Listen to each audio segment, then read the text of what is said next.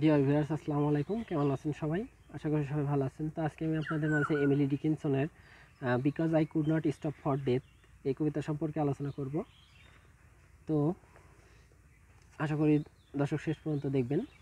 দেখা যাচ্ছে যে এমিলি ডিকিনসন কে? তো এমিলি ডিকিনসন হচ্ছে একজন আমেরিকান পোয়েট আমি আবারও বলছি এমিলি ডিকিনসন একজন আমেরিকান পোয়েট তিনি কখনো তিনি ইংল্যান্ডের পোয়েট না কিন্তু। তো আমেরিকান পোয়েট হওয়ার কারণে তার কবিতা দেখা যাচ্ছে যে মডার্ন একটা আভা পাইছে বা আভাস পাওয়া যায়। এখানে এক্সিস্টেন্সিয়াল আইডেন্টিটি সম্পর্কেও পাওয়া যায়। তো তার কবিতায় because I could not stop for death এই কবিতা তিনি মূলত এলিজাবেথ ব্যাড সরি যে এমিলি ডিকিনসনকে মূলত ডেথ পয়েন্টও বলা হয়ে থাকে। তিনি কারণ তিনি মৃত্যু রিলেটেড বা ডেথ রিলেটেড কবিতায় বেশি লিখেছেন। তো যাই হোক, কথা না বাড়িয়ে কবিতাটি শুরু করা যায়। তো এমিলি ডিকিনসন তার কবিতায় মূলত মৃত্যুকে কি বলেছেন, আগে একটু বিস্তারিত আলোচনা করি। যে বলছেন যে আসলে মৃত্যুটা এমন একটা জিনিস যেটাকে কখনোই ভয় পেতে নেই। মৃত্যুটা স্বাভাবিকভাবে নিতে হবে এবং মৃত্যুটা কখনোই ভয় পাওয়ার কোনো জিনিস না। মৃত্যু হচ্ছে স্বাভাবিক জিনিস, যেটা হচ্ছে ইজিভাবে আমাদের নিতে হবে। মৃত্যুকে মৃত্যুকে ভয় পেলে অবশ্যই আমরা আরও ভীরু হয়ে যাব।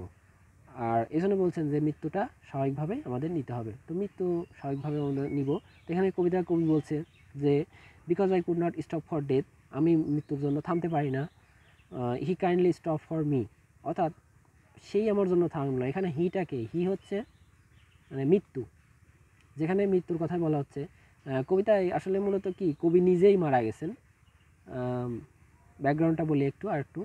যে কবি নিজেই মারা গেছেন, তাকেই মূলত কি করা হচ্ছে? গ্রেভয়ার্ডে নিয়ে যাওয়া হচ্ছে এবং তাকেই কবর দেওয়া হচ্ছে। এবং তিনি এই এই কব- কবিতাটা আলোচনা করছেন। তো আসলে feelings as a feelings of death মৃত্যুর যে ফিলিংসটা তিনি এটা শেয়ার করছেন তার কবিতার মাধ্যমে।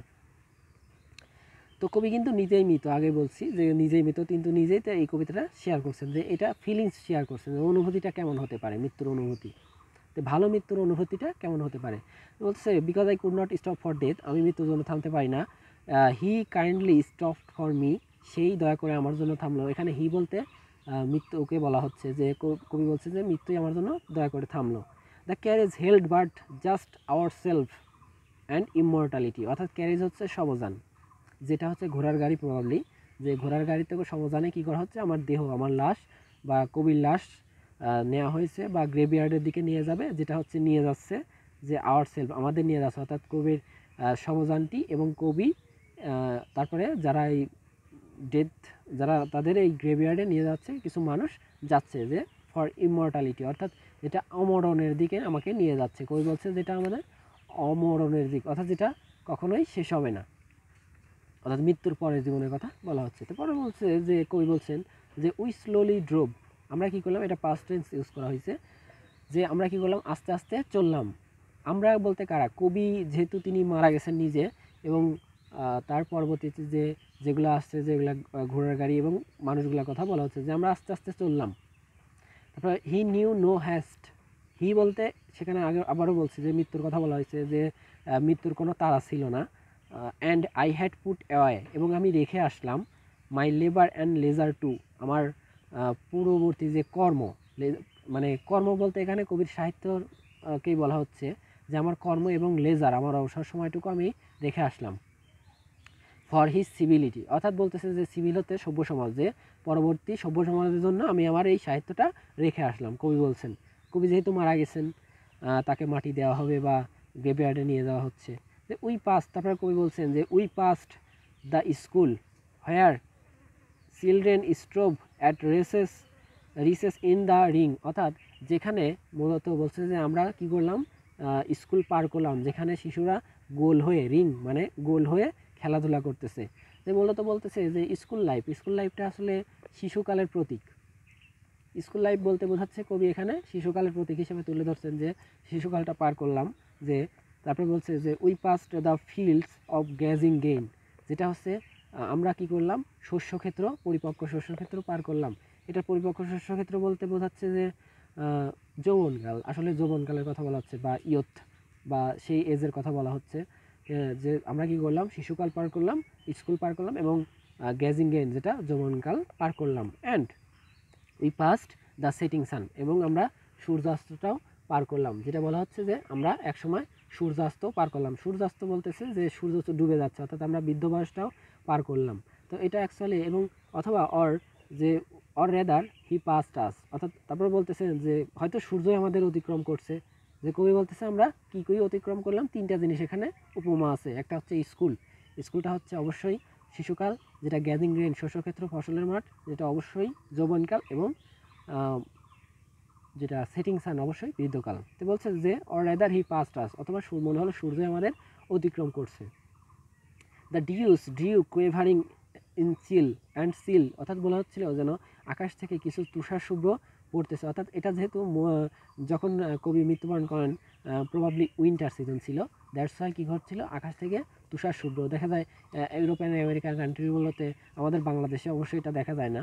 তো ইউরোপ এবং আমেরিকা কান্ট্রিগুলোতে উইন্টারে তুষার শুভ্র পড়ে এবং সেটা বরফ আকারে, স্তূপ আকারে জমে যায়।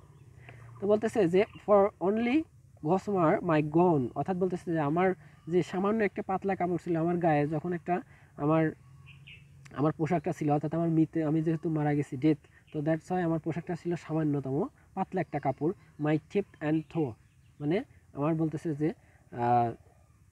আমার যেটা কী ছিল, আমার কাঁধের যে চাদরটা ছিল, আমার গায়ের যে চাদরটা ছিল, এটা ছিল খুবই পাতলা। অ্যাজ এ সিল্কি বা রেশমের যেটাই বলি না কেন, যে জালি বা মানে খুবই সিল্কি টাইপের যে খুবই পাতলা একটা কাপড় ছিল এবং এটা এবং আমার নেকআপ যেটা মাথায় আমরা পরে থাকি, এবং আমার সেই নেকআপটা ছিল, কবি বলতেছে আমার নেকআপটা ছিল খুবই হালকা। তো একটা হচ্ছে যে খুবই ঠান্ডা লাগছে, একটা অনুভূতি সে শেয়ার করতেছে। যেহেতু সে মারা গেছে, তারপরেও আসলে মানুষ আমরা জানি, সবাই জানি যে মৃত্যুর পরে কিন্তু অনুভূতি কখনো কমে না, অনুভূতি তীব্রতা হয়ে যায়। আরও মানুষ মারা গেলে অবশ্যই অনুভূতিটা তীব্র হয়ে যায়, কারণ সে সব কিছুই ফিল করতে পারে, কিন্তু দুনিয়ার মানুষ তা দেখতে পারে না। সেজন্য বলতেছে যে আমাকে এভাবে নিয়ে যাওয়া হচ্ছে, কোথায়? কবর দেওয়া হবে, অর্থাৎ গ্রেভিয়ার্ডে নিয়ে যাওয়া হচ্ছে। তারপর we paused before we paused a before a house that seemed a swelling of the ground আমরা কী করলাম? একটা বাড়ির সামনে থামলাম, যেটা মনে হচ্ছিল যে মানে একটা আমরা আমরা একটা বাড়ির সামনে থামলাম, যেটা আসলে মনে হচ্ছিল একটা উঁচু ঢিবের ঢিবি, ঢিবির মতো। তো ঢিবিটা কি বোঝাচ্ছে? একটা গ্রেভিয়ার্ডই বোঝাচ্ছে যে, আমরা এমন একটা বাড়ির সামনে এসে থামলাম, যেটা উঁচু একটা বাড়ি, সেখানে গ্রেভিয়ার্ডের মতো বোঝাচ্ছিল। যে, যেখানে মূলত কি? যে তারপরে কবি আরও বলছেন যে যেটা একটা উঁচু স্তূপের মতো, অর্থাৎ গ্রেভিয়ার্ডেই থামছে। তারপর বলছে দ্য রূপ ওয়াজ স্কিয়ার্সলি ভিজিবল অর্থাৎ মানে যেটা আকাশ, রূপ বলতে ছাদ বোঝাচ্ছে, কিন্তু আকাশের কথা বলা হচ্ছে। কবিকে অলরেডি কি করা হচ্ছে? যে কবি যারা মর্নার যারা নিয়ে আসছে কবিকে, অর্থাৎ তার সহজানটি নিয়ে আসছে এবং তাকে মাটি দিবে। তো তাকে নিয়ে আসার পরে অলরেডি তাকে মাটিতে শুয়াই দিছে, অর্থাৎ কবরস্থানের ভিতরে শুয়াই দিছে, কবরের মধ্যে তাকে শুয়াই দিছে গ্রেভিয়ার্ডে তাকে শুয়াই দিছে। এই জন্য কবি দেখতেছে যে, আমার কাছে মনে হলো, আমি যখন আকাশের দিকে তাকালাম, তখন মনে হলো সামান্যটুকুই দেখা যাচ্ছে। অর্থাৎ অনেক দূরে, মনে হচ্ছে অনেক দূরে, আকাশটা অনেক দূরে। যারা বাস্তব অভিজ্ঞতার ক্ষেত্রে বলি, যারা অনেক গভীরতায় নামছেন বা যারা অনেকেই আছে যারা ইনসেন্ট টাইপের তারা কবরের মধ্যে যারা দেখছেন, শুয়ে থাকছেন, দেখতে পাবেন যে আকাশটা মনে হয় যেন অনেক দূরে, মাটি থেকে অনেক দূরে। আমরা যেমন স্বাভাবিকভাবে আকাশটাকে দেখতে পাই অনেক কাছে বা নিচে মনে হয়। কিন্তু অ্যাকচুয়ালি যখন যারা কবরের মধ্যে যায় বা নিচে যায়, তখন মনে হয় যেন আকাশটা অনেক দূরে। এই জন্য কবি বলতেছেন যে দ্য রূপ ওয়াজ স্কেয়ার্সলি ভিজিবল অর্থাৎ মনে হচ্ছে যেন ছাদ- ছাদটা খুব কমই দেখা যাচ্ছে। ছাদ বলতে সেই আকাশটাকে একটুকুনি দেখা যাচ্ছে, খুব দূরে তাও।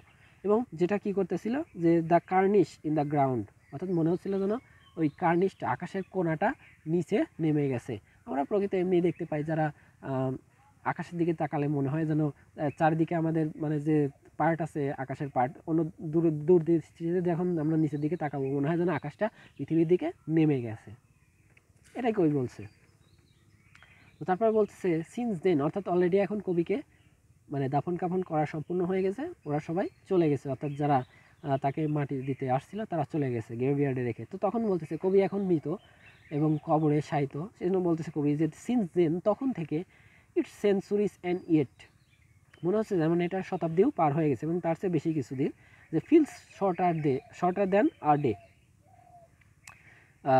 কবি বলতেছে যে এটা মনে হচ্ছিল feels shorter than the day অর্থাৎ মনে হচ্ছিল যে এটা একটা দিনের চেয়েও কম সময়।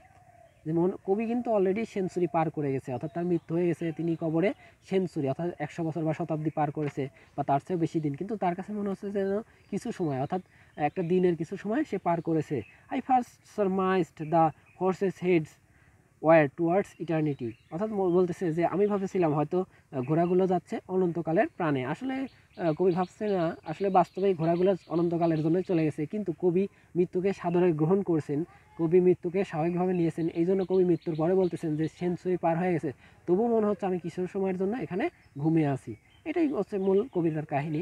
তো অ্যাকচুয়ালি এখানে কবির, এটাই ছিল কবিতা। তো কবিতার মূল কাহিনী একটাই, যেটা হচ্ছে কবি সবসময় আবারও বলেছেন যে কখনোই মৃত্যুকে ভয় পাওয়া যাবে না, মৃত্যুকে আমাদের অবশ্যই স্বাভাবিকভাবে নিতে হবে। ডেথ আসলে মৃত্যুই সব কিছুর শেষ না, মৃত্যু থেকে সব কিছুর শুরু। তো এই অবশ্যই মৃত্যুকে আমাদের অবশ্যই স্বাভাবিকভাবে নিতে হবে। তো মৃত্যু কখনো ভয়ঙ্কর কিছু না। তো কবি এখানে এতটুকুই আলোচনা করেছেন এই কবিতা তো আশা করি ভিউয়ার্স ভিডিওটি ভালো অবশ্যই বুঝতে পারছেন এবং ভালো লাগলে অবশ্যই লাইক কমেন্ট এবং সাবস্ক্রাইব করবেন। এবং যারা এবং শেয়ার করবেন যাতে নতুন নতুন যারা ভিউয়ার আছে তারা দেখতে পারে, যারা তাদের দরকার অবশ্যই দেখতে পাবে এবং অবশ্যই ভিডিওটি সাবস্ক্রাইব করবেন এবং পাশে থাকবেন। আজকের মতো এই পর্যন্ত ভালো থাকবেন, সুস্থ থাকবেন। আল্লাহ হাফিজ।